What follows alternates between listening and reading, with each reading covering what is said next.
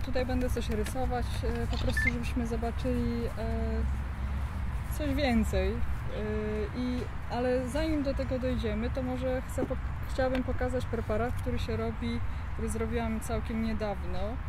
I tu jest 12 obiektów, tego w ogóle nie widać, prawda? Bo, są, bo grubość tego prawdziwego preparatu to jest 4 mikrometry. W milimetrze jest 1000 mikrometrów. Tak? Takie preparaty się tnie. Zatapia się w żywicach, tak żeby przesączyło się to żywicami, później przecina, ogląda. One muszą być właściwie przezroczyste. Więc jakim cudem one wszystkie tutaj mają kolor? Są barwione chemią wszystkie, tak? Dzięki czemu możemy coś zobaczyć więcej. Możemy na przykład kolorem rozróżnić komórki, które żyją, a które umarły. To jest akurat kawałek brzozy, pnia. E, Wszystko to, co ma ligninę, a lignina to jest jak cement w komórkach, zabarwiło się na czerwono. Tak? I jak widzicie, no, drewno brzozy jest bardzo, bardzo twarde. Gołym okiem widać, że jest taka ażurowa struktura? Taka jakby no, koronkowość widać. Widzicie to, że jest, prawda? To dzięki temu, że jest cienki preparat, ale tak trzeba patrzeć na rośliny, że one są, składają się jakby z takich koronek ułożonych, dzięki czemu są bardzo ażurowe w gruncie rzeczy. Tylko nasze patrzenie powoduje, że mamy, widzimy de- deskę. Weźmiemy żyletkę, zrobimy z tego preparat, zobaczycie jak bardzo jest to cienkie, ażurowe, przezroczyste. I to jest akurat ten niebarwiony, ciężko będzie znaleźć go, także tu, łodygi skrzypu. Może gdzie nie gdzie widać, nie wiem czy pod światło zobaczyć takie kółeczka. Kółeczka, tak. Tak jest. To to jest właśnie to. Zobaczmy, czy coś się uda zobaczyć pod najmniejszym powiększeniem. I specjalnie chciałam y, pokazać taki preparat, który jest roboczym preparatem, ale żebyście zobaczyli, że to nie jest wcale takie ładne. Tak, takie podręcznikowe, tak? To znaczy, że to jest ba- że krojenie preparatów to jest wielka sztuka, dlatego że y, każdy o tym wie, na przykład krojąc nawet ogórki na sałatkę, tak? To znaczy, żeby były równe, cienkie, żeby nie poniszczyć każdej komórki. Bardzo trudna rzecz. I popatrzcie sobie, zajrzyjcie tu, to jest łodyga skrzypu. Zanim może zajrzycie, to powiem Wam, że tak. Skrzypy zostały, to są rośliny, które żyły kilka milionów lat temu i miały pomysł na życie taki, który się sprawdził. Są ultra lekkie, są puste w środku i najlżejsza łodyga, na, y, belka na świecie to jest kopia skrzypu. Składa się właściwie z niczego ta roślina, bo dominuje puste powietrze w środku. Wokół zobaczycie łodyżki, są też dziury, kanały, które rzeczywiście wymiana jest powietrza i gdzie nie, gdzie tylko jakieś e, e, komórki. Na samym ze, zewnętrznej, nie będę już nazywać tego, jak to się w istocie nazywa, tak? Zobaczymy takie guski. I to jest czysty, czysta krzemionka. Dlatego skrzyp skrzypi, jak weźmiemy łodygę. Bo te kamyczki krzemionkowe, ocierając o palce, skrzypią. Stąd ta nazwa jest. I teraz zobaczcie, brzydki roboczy preparat łodygi skrzypy, dobra? Nie barwiony. Tak, skrzypy są na tyle fajnie, fajną rośliną, bo patrzcie, że one potrafią tworzyć tylko i wyłącznie taki design. Nie, rozejrzyjcie się dookoła, jak bardzo różne są gałęzie, prawda? Jedne są grubsze, cieńsze. Skrzyp zawsze wygląda tak samo. I jakim cudem on potrafi właśnie rosnąć do półtora metra i nie przewrócić się, nie złamać się. Wykorzystują to wędkarze. Tak zwany wzrost alometryczny. Teraz Wam powiem, co to jest. Jakiś wąż. Dobra. Na nim można pokazać, że skrzypy mają na samym górze, na samej górze te segmenty króciutkie, później coraz dłuższe i coraz bardziej krótkie. Te, ci, co wędkują, to wiedzą, że szczytówka, ten wierzchołek, prawda, jest też bardzo krótkich węzłów jest, ale dzięki temu jest ultra czuły na drgania. tak? A spód u skrzypu jest znowu krótkich węzłów, ale dość sztywnych, dzięki czemu przy wietrze robiliśmy właśnie filmy w tunelu aerodynamicznym na melu z, z lotnikami, przepuszczając powietrze. Okazało się, że ten wierzchołek niesamowicie drży przy najmniejszym wietrze. Po co to jest? Dlatego, że na szczycie jest kłos zarodnionośny, tak?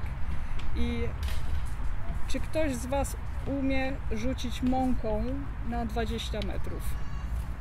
Garścią mąki. Nie. Nie da rady, bo opór aerodynamiczny tych malutkich cząstek jest tak duży, że się tego nie da. Więc trzeba drgać długo, żeby wiatr robił swoje, prawda? I zobaczcie, co tutaj działa u pierwotnych roślin? Tylko i wyłącznie geometria. Tylko kształt, zmiana, układ, nic więcej. Nie tworzą nic specjalnego. A teraz przechodzimy 2 miliony lat do przodu i zobaczcie, jaki jest pomysł na, na, e, na to, żeby być dużym, żeby zajmować strasznie dużo miejsca, żeby nie załamać się pod własnym ciężarem, bo nie oszukujmy się, skrzyp w takiej postaci, w takiej łodze nie będzie miał 20 metrów nigdy, prawda? No to co trzeba zrobić, żeby urosnąć do 30, do 120 metrów? Trzeba zacząć tworzyć tkankę, która zmieniła wszystkie rośliny na świecie. Mianowicie drewno. Teraz w centrum macie dwuletnią łodygę pień sosny. To.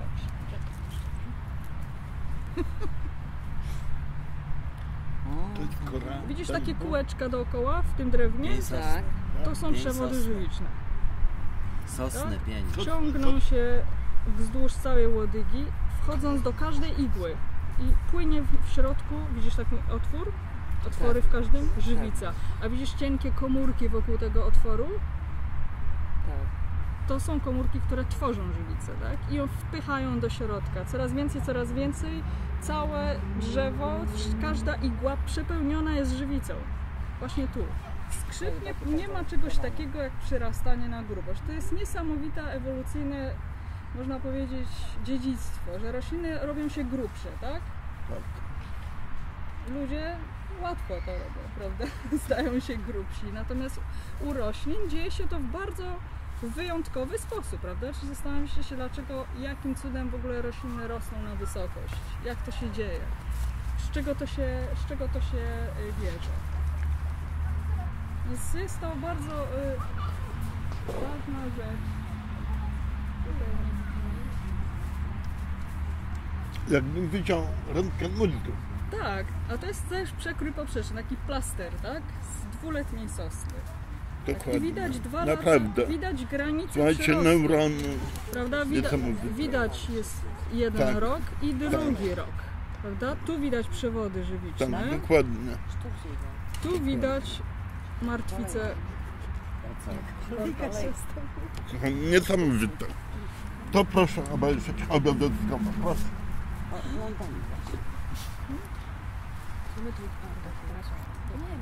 Tak? Tutaj jest rdzeń jest taki, prawda, byle jaki, takie, takie komórki są y, miękiszowe, prawda, w środku.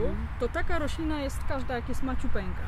Tam nie ma porządku, tak jak właśnie było powiedziane, że geometrycznie. Geometrie u roślin pojawiają się wtedy, kiedy organizują się, kiedy robią się bardziej zaawansowane. One się wtedy w środku porządkują. Jeśli byśmy O, w podeszli, mordkę. tak jest, jeśli byśmy podeszli do, Tak, mam też do tego pnia, na przykład z żyletką, zrobili dziurki, ranę, to pierwsza tkanka, która się pojawi, będzie strasznie chaotyczna. Bałagan będzie tam. Nie zobaczycie czegoś takiego. Nie Małe zobaczycie ułożu. Obraz tak jest. I to jest porządek pojawia się w toku ewolucji.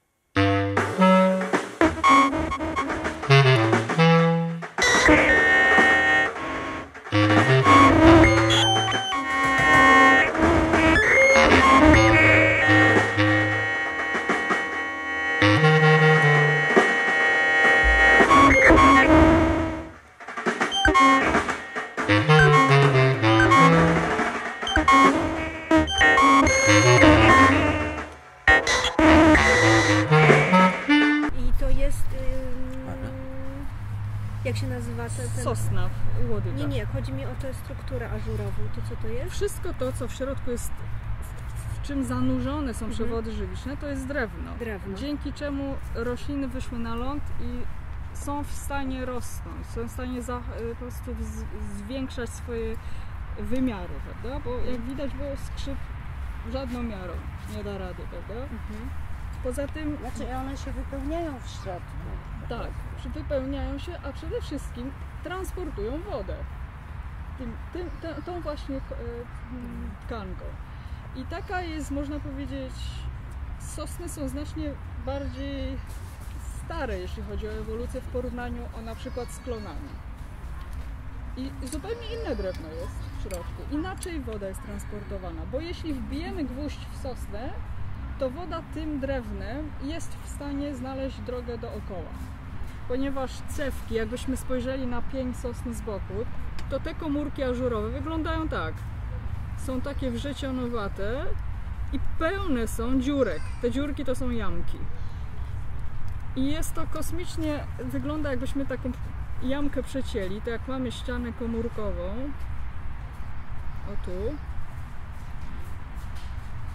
może tak, narysuję, to zobaczcie, taka jamka wygląda tak, że w środku jest na dzyndzlach, takich na sznurkach, taki dysk.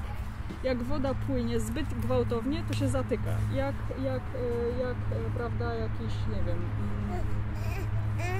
w silniku, jak to się nazywa, zapomniałam. Y, Zał. w- Tak, coś takiego. Jak zbyt gwałtownie idzie, prawda, to zobaczcie, ten korek, prawda, jest w stanie przytkać y, transport wody. I wszystkie cewki są właśnie przepełnione takimi, wypełnione ich ściany jamkami, dzięki czemu jak wbijemy, prawda, gwóźdź, zranimy drzewo, czy zbyt gwałtownie będzie woda transportowana i przerwie się ciąg wody, nic się nie dzieje. Woda płynie. Natomiast u klonów, a szczególnie u drzew tak zwanych pierścieniowo-naczyniowych, zaraz Wam pokażę, u dębów, to jest straszna, straszna rzecz.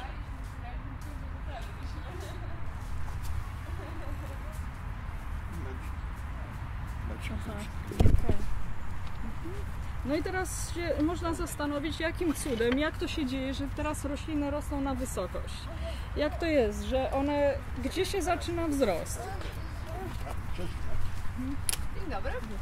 Dobry. Dobry.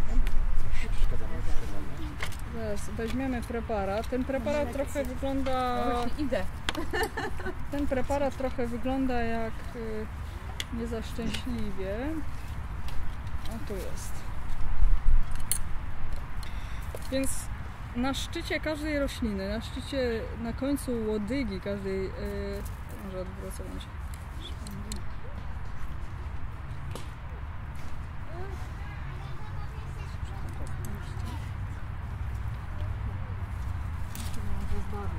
Możliwości twórczych. E, Na każdym wierzchołku każdej, każdej rośliny, klon jesionolistny.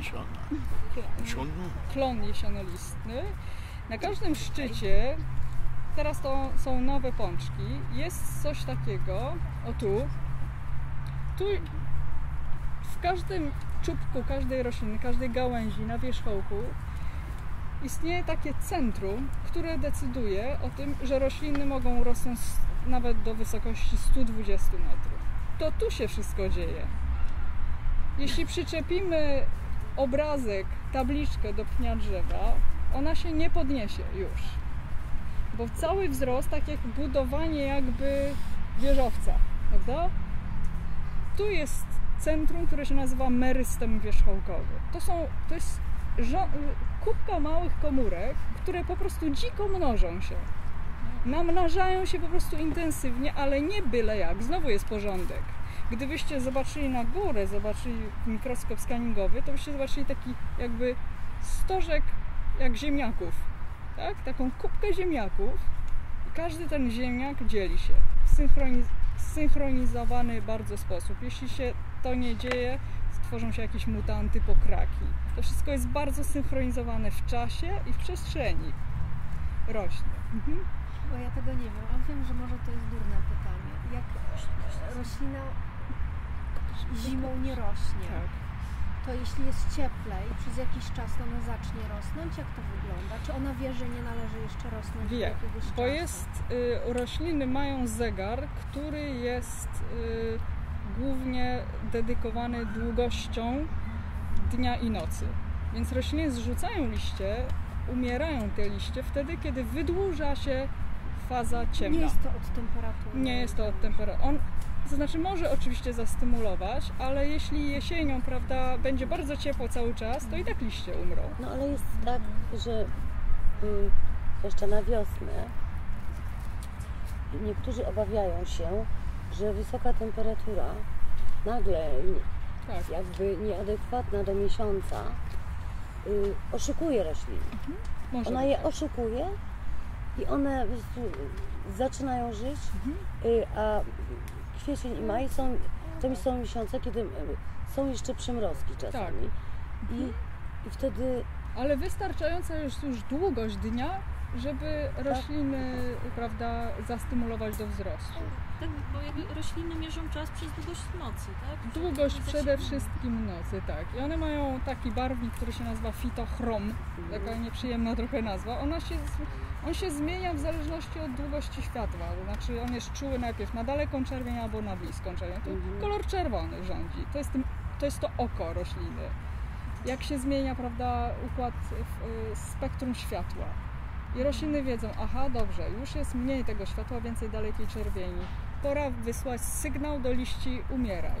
Liście umierają a, i odpadają, a odpadają w sposób bardzo, to znaczy zaprogramowany już jest u tych roślin bardzo wczesny, na samym etapie, że one umrą. Bez dwóch zdań, żebyśmy nie wiem jak mieli długą, długą fazę dnia, nawet przez cały rok, to one odpadną, one umrą, dlatego że one mają tak zwaną no.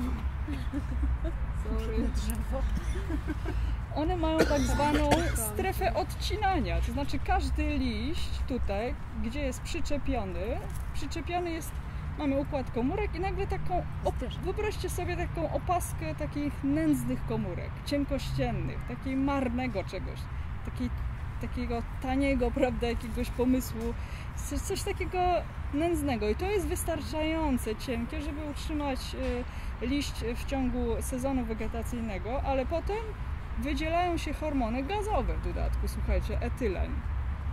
Gaz wydzielany jest tam, gdzie te gniją jabłka, dużo jest tego. Wydzielany jest etylen i on powoduje, że te komórki cienkościenne popełniają samobójstwo. One nie, roślina ich nie zabija, jakoś nie ma jakichś sygnałów. One same, prawda, liść odpada. Więc, więc, ale zeszliśmy z tematu. tracą chęć do życia. Tak, w sposób taki, prawda, jakbyśmy mieli Jak tutaj opaskę i byśmy może w Mnożenia, jakimś sensie. do śmierci natychmiast. Tak, i tutaj mamy ten merystem wierzchołkowy, który intensywnie się dzieli i który oczywiście wiemy o tym, on jest bardzo czuły, cienkościenny, bo wyobraźcie sobie, że jak to stworzyć, żeby roślina chciała w ogóle, komórki się podzieliły, kiedy komórki roślinne siedzą w pudełkach, tak jakby, bo są ściany komórkowe. To nie jest to, co my, prawda, że jak się odwodnimy, to widać u nas na twarzy. U rośliny protoplast odstaje i niekoniecznie widać, że roślina jest odwodniona. To już bardzo dużo musi się stać, żeby roślina straciła tak zwany turgor, zwiędła jak to. Prawda? Więc y, mamy tutaj chroniony merystem, taki mózg, można powiedzieć, rośliny. I ten sam jest na dole, w korzeniu. I wyobraźcie sobie, że one się namnażają intensywnie i wpychają się. Jedna pcha się do światła, druga pcha się w ziemię, tak? A tu wszystko już zostaje. Tu tylko się pogrubia, pogrubia, pogrubia. I to wszystko siągnie. I teraz pokażę Wam zdjęcie tego merystemu. To wygląda trochę jak, nie wiem, salceson, coś takiego, prawda? Bardzo yy, mm, takiego bardzo yy, właśnie chaotycznego. Właśnie w centrum ustawiłam Wam merystem wierzchołkowy. Zobaczcie, układ komórek wygląda to trochę bardzo, jest to podobne do czegoś, co widzimy u człowieka, u zwierząt. Bo do tej pory yy, cała reszta będzie bardzo symetryczna, będzie bardzo taka mozaikowa jest anatomia roślin. A tu coś zupełnie innego. Popatrzcie, merystem wierzchołkowy sam czubek. To na- namnażanie się tych komórek jest tak jak przy O, jak na- skóra na- węża wygląda. Nie, jest synchronizowane. Albo jak, No, albo jak wi- Wisła. Zobacz, no tak. Patrzysz. Wygląda jak Wisła. I tam w środku wybarwione są jądra komórkowe, bo jak jest podział, to wiadomo, że geny bardzo mocno rządzą, więc cały czas jądra komórkowe są bardzo w najwyższej aktywności, nie są schowane gdzieś tam z boczku, prawda, żeby tylko być. Tutaj wszystko, co zobaczycie, to przede wszystkim właśnie jądra. A ta góra współpracuje z dołem?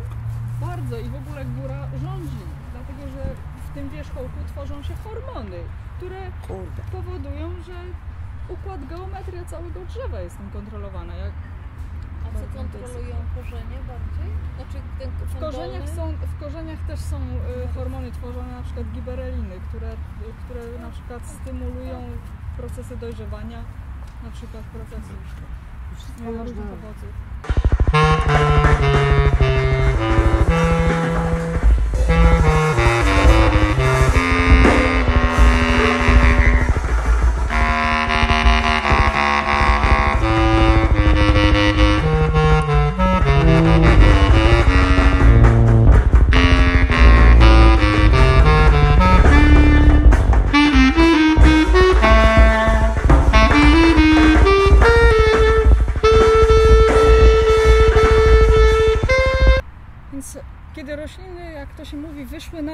Tak naprawdę wiemy o tym, że prawda, no cały czas żyły pod wodą i potem po prostu było olbrzymie oci- ocieplenie klimatu i te wody siadły trochę, zmniejszyły się na świecie i na krawędzi, tak jak nie wiem, osad po kawie, na, na, na, na szkle, na lądzie był osad, można powiedzieć, z glonów z jednokomórkowych jakichś organizmów, które już miały chloroplasty, przeprowadzały fotosyntezę. I tak wyszły rośliny na ląd. Z, można powiedzieć, z te, z, z, ze zjawiska obniżenia prawda, wód, o, o, o, ocieplenia klimatu. Wyciągały. Musiały przez te miliardy lat jakoś dać sobie radę i zmieniły się w to, co mamy dookoła. Ale jak, jak żyć w takim środowisku, kiedy tak, zobaczcie, jak wszystko szybko paruje, a w środku rośliny transportują wodę, są mokre. Więc trzeba się od tego odciąć bardzo mocno. I odcinają się, tak? Mamy epidermę, woski mamy na roślinach. Na łodygach co mamy? Tak zwaną korę, tak? Korek nie transportuje wody, nie przewodzi gazów, jest izolatorem dźwięku. Niesamowity, nawet w rosomakach w Polsce na, na podłodze kładzie się warstwy korka z Portugalii, ponieważ odkształca się bardzo inaczej. Ma tak zwany współczynnik Poissona y, taki, że jeśli ściśniemy korek, to on się nam nie, nie wydłuży jak, jak guma. Dzięki temu świetnie, się, świetnie reaguje, prawda? Mamy go na podłodze, to wiem. Tak jest. jest korek. Jest, to, jest, Spada tłukalność na Jest- tym w kuchni. Właśnie tak, dokładnie. I jest, to jest doskonałe, ale w takim razie jakim cudem w roślinach, jak rośliny oddychają, przecież jest potrzebne powietrze. Czy, czy, czy taki pień, skoro wszystko dąży do tego, żeby się odciąć od tego niekorzystnego środowiska, od wysokiej dyfuzji, czy istnieją jakieś struktury w łodygach, w pniach, żeby można było transportować powietrze? Ale to jest zupełnie nieszczelne. No właśnie. Jest, moim zdaniem jednak nie jest szczelność. I bardzo dobre zdanie. Tak, oczywiście. Zbierzemy przykład znowu. Kuty zostaną w promieniu 20 metrów od No trudno, no tak to Będą wygląda. się śniły w nocy. Gołym okiem widać te miejsca. Więc zaraz powiem, jak to się dzieje. E, najpierw, jak powstaje korek, więc znowu mamy merystem. Istnieje wokół, jakbyście sobie nałożyli e, rajstopę na nogę, tak? To ta rajstopa, wyobraźcie sobie, że ona się dzieli i grubieje.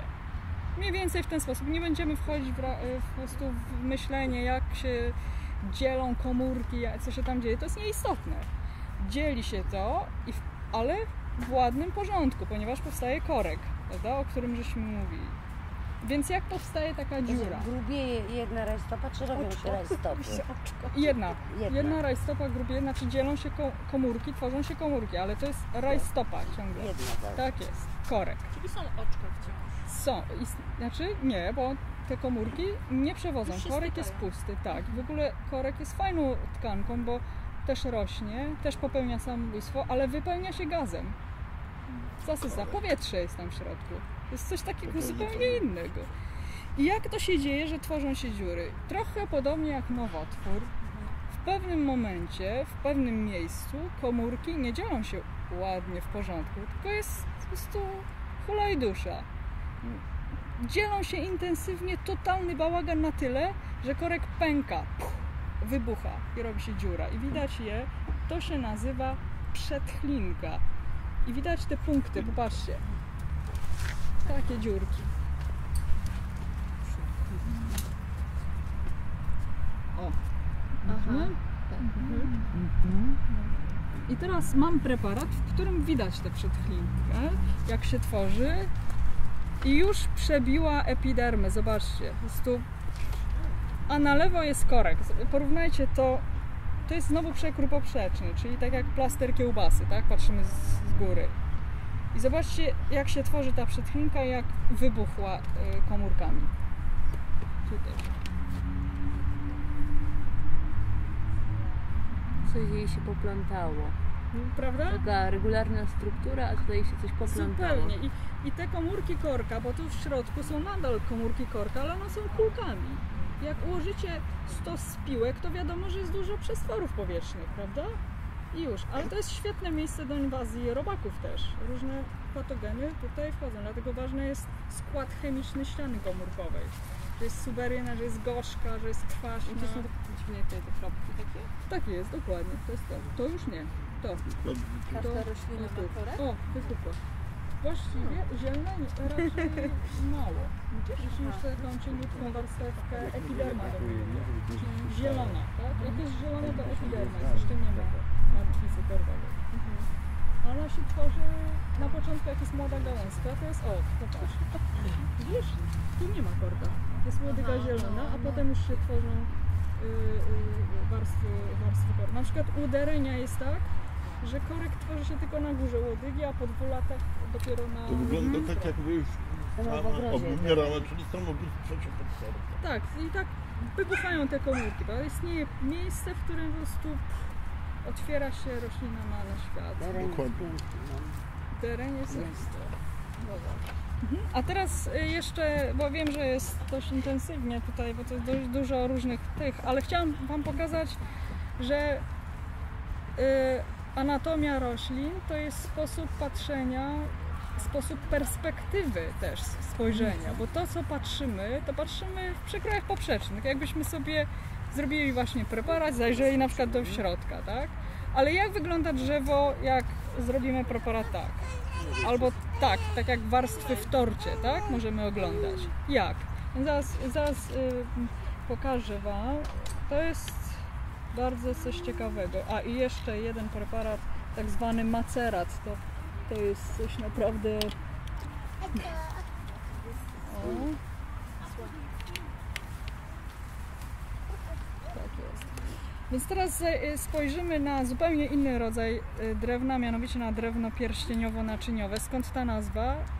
Dęby, nawet 200-500-letnie, tworzą wąski przyrost naczyń i to one zaopatrują wodę na, przez cały sezon wegetacyjny. To znaczy woda transportowana jest u takich wielkich bardzo dębów starych nawet jakimś centymetrem obwodu. Dowodem na to są drzewa pomnikowe, które są puste w środku, tak? A cała korona jest przepełniona liśćmi i ta roślina jeszcze się nie wywraca, ponieważ siły mechaniczne też funkcjonują na obwodzie. Wiedzą o tym wszyscy, ponieważ rurki są puste w środku, prawda? Oszczędna jest to technika. I, e, I w pewnym momencie, kiedy powstaje nowy przyrost za rok, te zeszłoroczne zapychają się, tak jakbyście sobie wyobrazili, że wciskacie coś, jakieś worki z powietrzem. To są tak zwane wciski. Same, za, samo drzewo zatyka sobie naczynia. Jak one wyglądają? Gołym okiem możecie zobaczyć. Popatrzcie, widzicie rządek komórek? Taki pasek jasny. Prawda? Jeśli ktoś ma jeśli ktoś ma y, jakikolwiek mebel z, z dębu, to też widać tam dziurki. To są te właśnie naczynia, które zaopatrywały drzewo w wodę. I teraz zobaczcie pod mikroskopem, bo to są olbrzymie struktury. To nie są dziurki po krawędzi.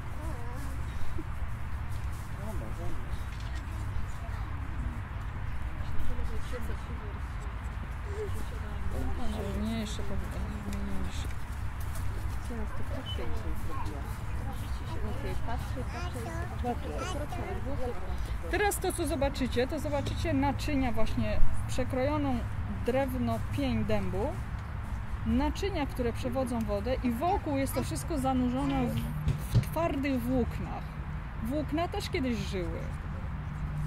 Też popełniły samobójstwo, ale są bardzo maciupkie, mają światło komórki. Zobaczycie to tylko punkcik i tak jak włókno, tak jak sama nazwa wskazuje, wiemy czym jest włókno. Są to długie, twarde komórki, dlatego drewno dębu jest twarde. Popatrzcie i zaraz zobaczycie jak to wygląda na innym przekroju, tak? No i jeśli chodzi o... Ojej, Tak jest, tak jak tu to mamy... taka... Boże, ta siateczka po prostu, siateczka z dziurkami. Niektóre te dziurki się zrobiły trochę większe, jak w rejstopach rzeczywiście. te duże, wielkie to Tak. właśnie przewodzą wodę. I teraz tak, pa, pa, pamiętacie tutaj cewkę, prawda? Cewka była pełna jamek. Te naczynia zupełnie inaczej funkcjonują. Tu jak wbijecie gwóźdź w dom, to, to całe naczynie jest zapowietrzone, tak jak rura, prawda, zapowietrzona z pompą powoduje bardzo dużo problemów. I tak samo jest tu, więc z pierścieniowo-naczyniowymi gatunkami trzeba bardzo ostrożnie, na przykład nie wolno ich przecinać, przycinać tak na palniach, szczególnie na przykład, nie wiem, jesionych. To jest zupełnie inny rodzaj, y, rodzaj y, drewna.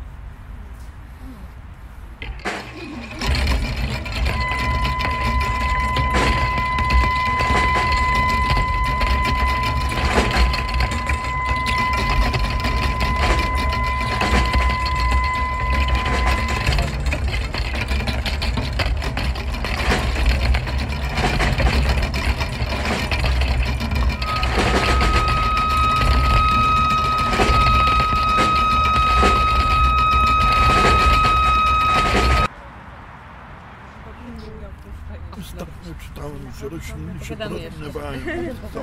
Wracamy do Mają tego. jedność. Proszę? Ostatnio, że rośliny się porozmiewają. Oczywiście, grzybami najczęściej. Tak. A teraz pokażę Wam... Zrobiono doświadczenie, że Tak. rośliny, które były w warunkach e, oderwanych od podłoża, nie porozmiewały Tak. się, więc atakowały ich inne choroby. Tak, tak, tak, tak. Natomiast system ostrzegania na ciało identyczny, ma, mechanizmy obrony też. Zgadzam się. Właśnie widzę. Zgadzam się. Teraz, takie właśnie robimy 52 eksperymenty z takim bardzo Ale fajnym profesorem i e, po prostu Słuchaj, rośliny rosną nasze nad taką siatką igieł. Dokładnie. I one rosną i zatrzymują się liście nad igłami, nie, nie podnoszą się. Nic. I dodatkowo jeszcze kolejne liście to samo robią. Tak? I udowodniliśmy, że sygnał elektryczny jest informacja do tych liści, nie ruszaj się, bo jest nie za wesoło dookoła.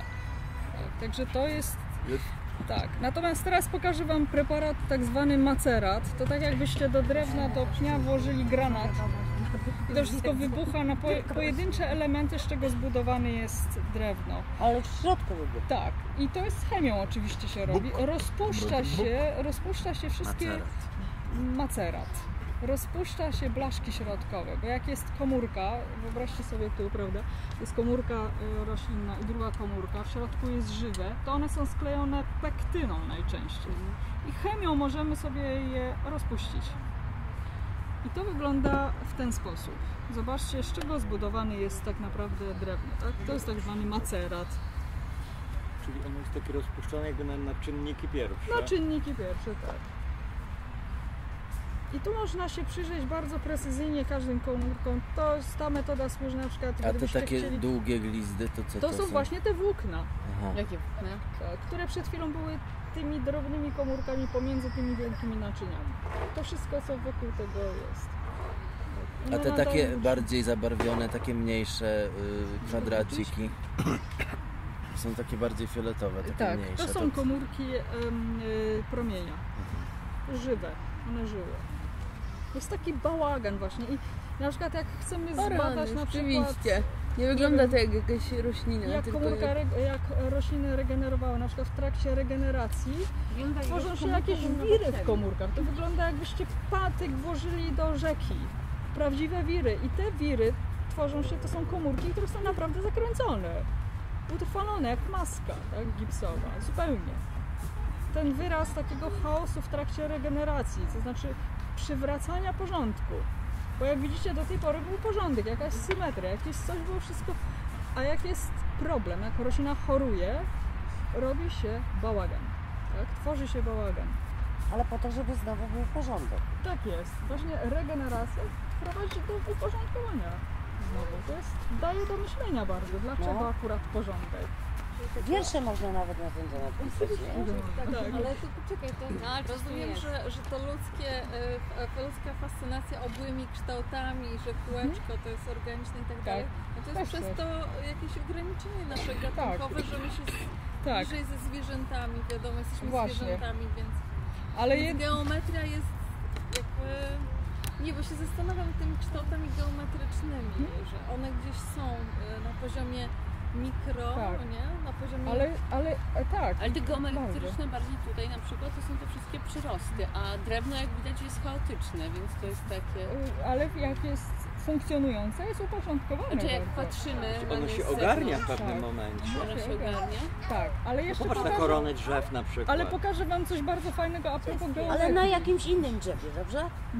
Bo to by to Że jest coś takiego, że, że kształty takie oby łączymy powiedzmy z życiem, a geometryczne z brakiem życia. Może tak być trochę. Chociaż, kulturowo, ale kulturowo. kulturowo, oczywiście, bo wszystko e, rozbija się o skalę patrzenia. No właśnie. Nasze wyobrażenie, że coś co weźmiemy do ręki, to tak postrzegamy wszystko, tak? A, a przecież, przecież nieskończoność kosmosu jest tym samym, co nieskończoność skali mikro. Obie strony jest Obie kosmos, strony. obie strony jest kosmos, jest dwukierunkowy. Absolutnie. A teraz a propos geometrii, pokażę Wam, czy kojarzycie jak rosną igły u sosny? Że igły wyrastają z pęczków. Że mamy pęczek igieł. Nie wiem, pamiętacie, w tak jakby w brązowej torebce igły siedzą. I czasami są dwie, czasami trzy, czasami pięć, a czasami jest igła jedna. I teraz coś niesamowitego jest tutaj, coś co mi się zawsze strasznie podobało, to to, że jeśli jest sosna jednoigielna, to jak przekroicie taką igłę, to jest kółko. Jeśli nasza sosna, sosna pospolita, ta co jest w naszych lasach, ona ma w pęczku dwie igiełki, to przekrój będzie półkołem. Jeśli jest sosna trójgielna, na przykład sosna smołowa, to są igły, można je jedna trzecia, jedna trzecia. Są pię- pięcioigielne, to te trójkąciki są już bardzo małe. Nie wiem, czy kojarzycie na przykład sosnę wejmutka. Ona ma takie delikatne igły. Dlaczego? Zobaczcie, ile ma w pęczku. Prawda? I teraz pokażę Wam właśnie to. Zobaczcie, my katujemy akurat, chciałam to pokazać, bo to jest coś ciekawego, to daje do myślenia, tak? Tu mamy kilka gatunków sosen, no jak widzicie igły. Nawet gołym okiem, może puszczę Wam ten preparat i zobaczcie sobie, kolorek tu jest opisany i inny przekrój, tak? A tu mam jeszcze sosnę jednoigielną, o. To bez dwóch zdań, prawda? Kółko. A tu się zmienia.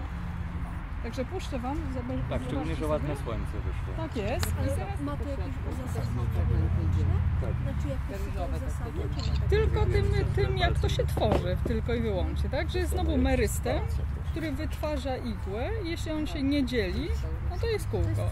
Tak, i że tą dominującą geometrią jest kółko w przekroju powszechnym u roślin. Bardziej lub nie. Jest, jest grupa roślin, które mają łodygi trójkątne. I to trójkąt prawie jest równoboczny. Bardzo taki fajne. To są turzyce wszystkie, które ludzie mylą z trawami. One mają trójkątne łodygi, mają piękne preparaty.